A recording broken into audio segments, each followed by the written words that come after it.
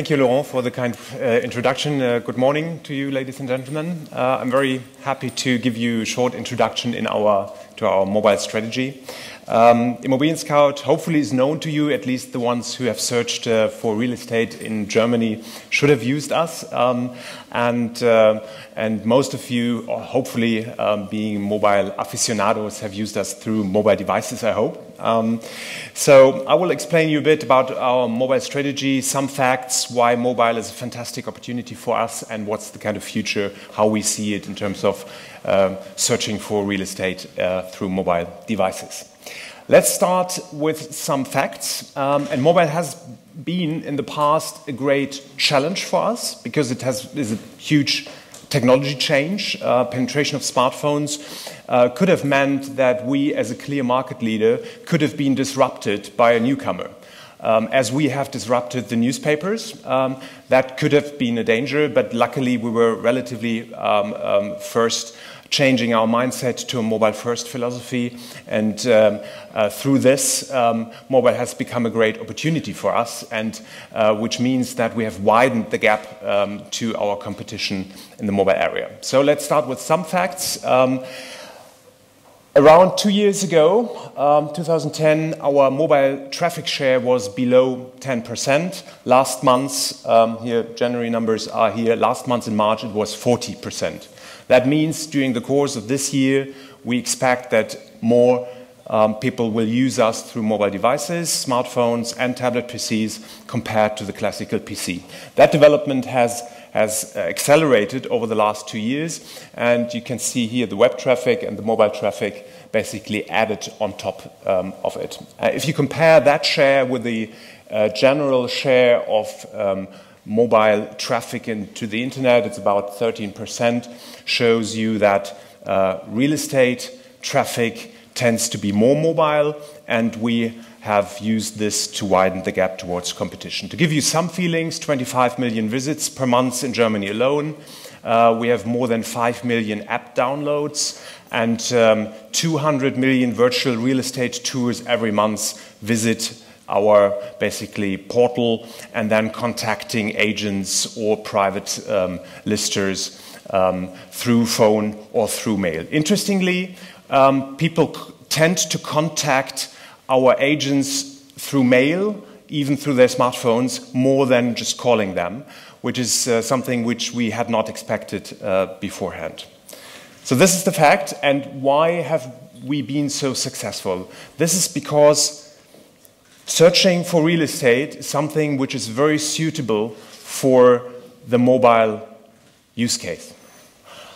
And there are several reasons. First of all, by definition, um, real estate is something which has to do with location, which you can do from abroad, but which you can also do on the fly while you're in Berlin, um, you, you like Prenzlauer Berg, you, you're uh, driving or, or, walking through Prenzlauer Berg, you're interested what kind of flats are um, at offer here. This is a typical use case, or you're doing a job interview, say, okay, maybe I will start with this company which is located here. I don't want to commute more than 15, 20 minutes, so um, let's, let's do a real estate search around the office in order to find a good home. So this is the typical use case.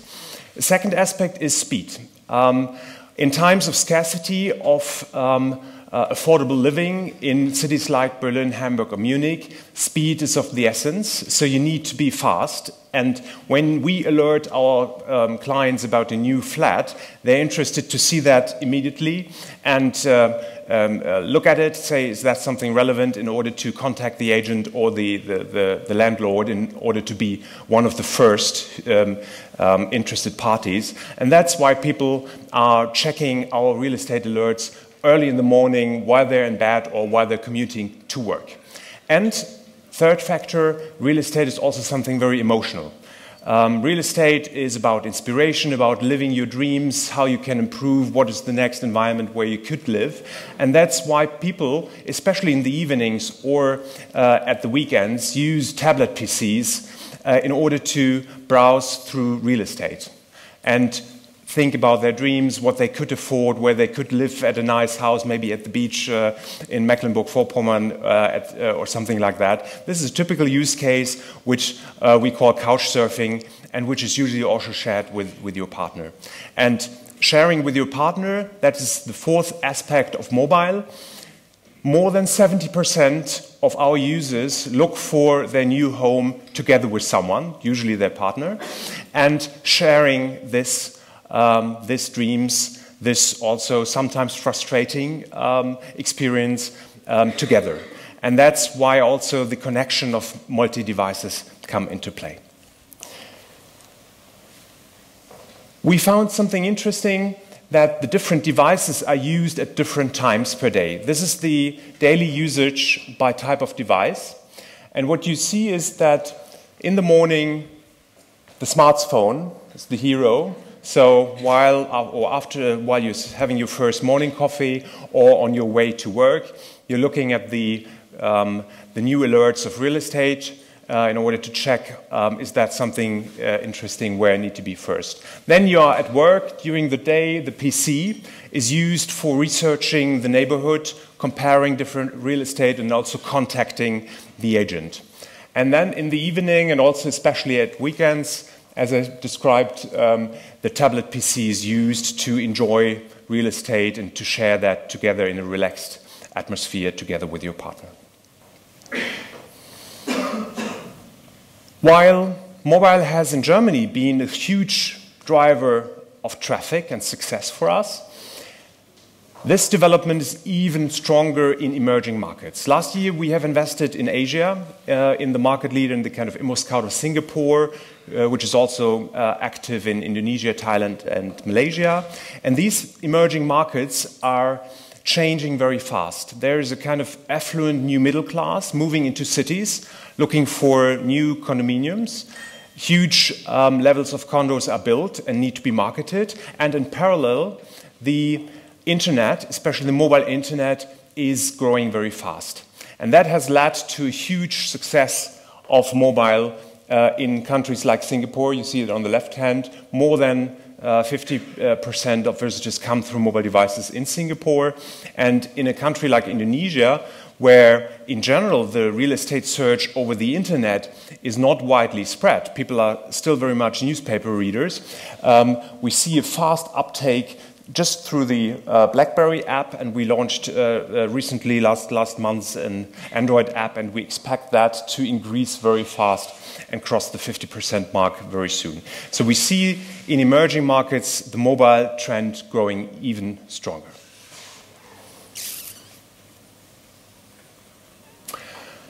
So that's today. Let's look at uh, three major trends which we see in, in mobile, which we're looking at at the moment. And the first one is uh, building on the success and the more laid back uh, use case on tablet PCs, uh, we believe that the real estate search will also change from classical hard fact uh, search, how big should it be, how expensive can it be, where should it be, into uh, more soft factors. Um, so we're working on devices where you can decide what's the right neighborhood for you based on your personal interests. So the mobile internet will become much more personal than it will than it is today. So you can decide, okay, do I need uh, um, a, neighborhood which is uh, friendly for families, where many kids are living, where I have the, uh, the, the right infrastructure? Is culture important? Is nightlife or restaurants important? So dependent on what are the criteria which which interest me, uh, we will help people finding the right neighborhood to live in, and then obviously search for the right things. Um, so personalization and more emotional and non-fact based criteria um, is one very important driver for the next product development stage. The second one is um, the what, what we call second screen. Uh, we expect that TV screens becoming more and more interactive. This will be an one more additional device which will come into play, which we then need to connect. We have done our first experience with T Entertain, which is an interactive TV platform. The numbers are still small, but we have tried and tested that technology and we see it increasing. And uh, it's always important that we see and test new devices in a first way. And the, the real challenge is not to only make it available, but then synchronize the, the various devices because people naturally expect if I store something and then share it on the smartphone, it needs to be available on the PC as well on the tablet or then on the interactive TV. So new use uh, scenarios and new technological uh, changes coming into play, which we expect here through the um, smart TVs. And the last one um, we expect that smartphones or mobile use cases are supporting the collaborative trend of searching for internet in a much more wider way than we see it today. As I said, more than 70% of users are uh, searching real estate together and sharing it. So the next step of our um, app uh, will contain ways to share, to comment, to react, to organize the whole process of searching for real estate together. Because this process usually takes, depending a bit whether you rent or, or buy, between three months and six to nine months and it's many ups and downs. Um, you find something promising, and then you realize, okay, it's, uh, it's uh, next to a motorway, or you don't get it because you have 100 other uh, applicants basically um, also applying. So to manage that process from finding real estate to organizing the, the tour,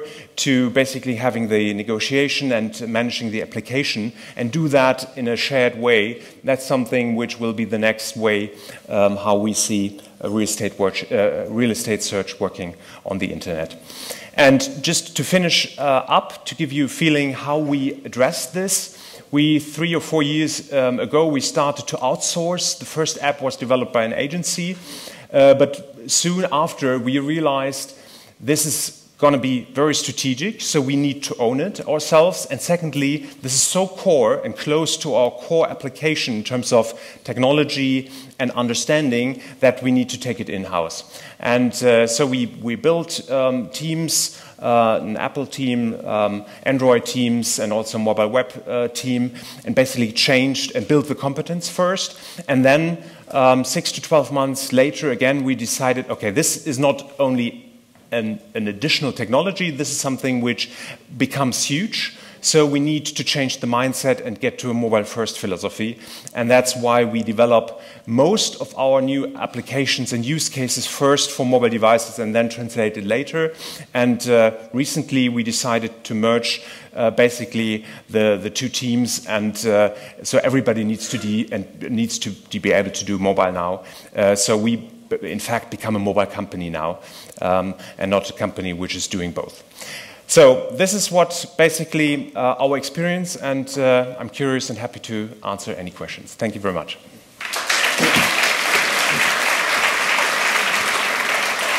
Well, thank you, thank you, Marc. Any, any spontaneous question from the audience? Yes. Uh, go ahead. Yeah. Are you? If you speak up, then that will do.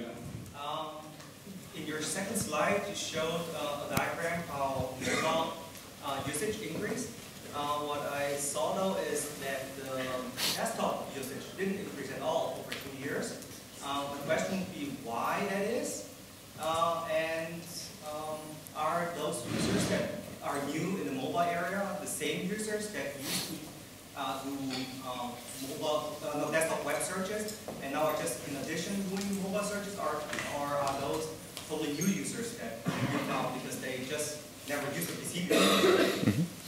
Uh, so web uh, traffic is not increasing anymore because basically since five years it's uh, common that you use the internet for real estate. We have a 90 percent uh, penetration. So there's literally not many people who are not using the internet anymore. So therefore, basically, the web is not increasing in addition to the mobile. So the, the growth comes purely through mobile. And what we see is that most people are using um, um, as I showed um, uh, in the other diagram, on a multi-device. So the percentage of mobile-only users are about 5% at the moment.